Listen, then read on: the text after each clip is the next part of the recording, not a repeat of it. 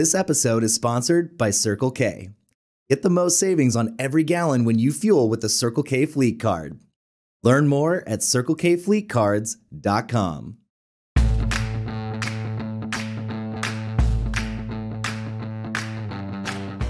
Welcome to today's episode of Truck Chat, Taking the Driver's Seat.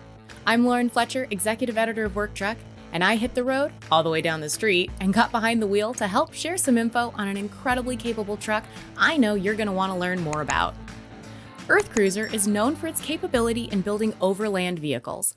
That's why many folks got excited, but also a little more than curious, when it created the core commercial chassis lineup.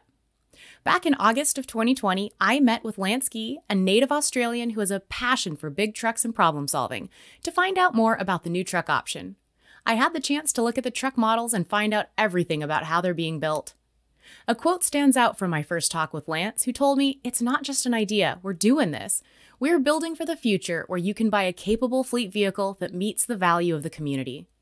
Now, after a year and a half of waiting, I finally got the chance to take the truck for a drive and see its capabilities firsthand. Spoiler alert, I wasn't disappointed. First, some background. CORE stands for Commander Off Road Equipment. The lineup was built to meet the growing demand for high performing 4x4 chassis for commercial and DIY overland vehicle builder use. Initially manufactured on Mitsubishi Fuso chassis, after the truck maker's exit from the US market, EarthCruiser had a decision to make.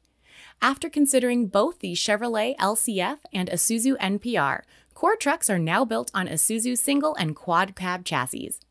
The core trucks are made in Oregon and support small Oregon based businesses in much of the componentry. There are more than 20 small companies that contribute to the truck. Just a short drive away, the fenders are made in Prineville, Oregon.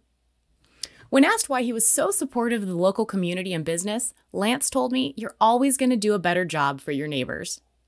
These trucks are ideal units for any agency looking for a nimble cab over unit that may also be worried about space. From municipalities to line work, fire and emergency response, recovery, utility work, and so much more, these trucks are built to get technicians or personnel right to where the trouble is. A lot goes into making a core truck. EarthCruiser technicians go through every major component and update it while ensuring that factory specs are kept. They don't simply take an Isuzu truck and slap a core logo onto it. I couldn't tell the factory wires from the added ones when looking at a finished mod. But why does this matter? These trucks are meant to be put into the trenches, driven through ditches, and be used. This means they're going to need maintenance and quickly. Through standard, readily available parts, fleets can quickly repair units themselves or take them to their service dealer for easy repairs. And with the option of a 38 or upgraded 60 gallon fuel tank and around 10 miles per gallon internally tested while fully loaded, these trucks are going to get your team as far as it needs to go.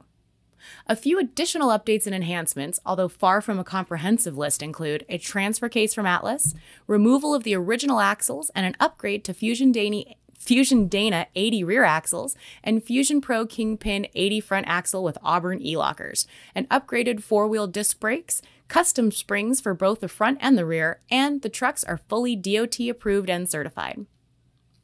So, as a truck editor, I've driven more trucks than I can count. And if you've ever driven an Isuzu cab over truck, you know they are capable, easy to maneuver through tight spaces, and have the power to haul heavier loads. For my first test, we took a red core truck loaded with 14,400 pounds in weight and affectionately nicknamed Clifford to a small parking lot where we tested its incredibly tight turning radius. The truck had no problem turning around in a spot that most full size pickups would need to make a three point turn minimum. Next, I drove with John Stafford, Business Development Manager for CORE, out to the high desert just outside of Bend, Oregon, where EarthCruiser is headquartered. Here, I was shown the truck's capability to get emergency rescue fleets, utility fleets, linemen, and more to remote locations. We headed up China Hat Volcanic Butte and took a rutted, steep road up the hill. Then we took the equally steep and far more rutted and rolling road down the other side. The truck handled the terrain with ease, no slippage, and tracked beautifully.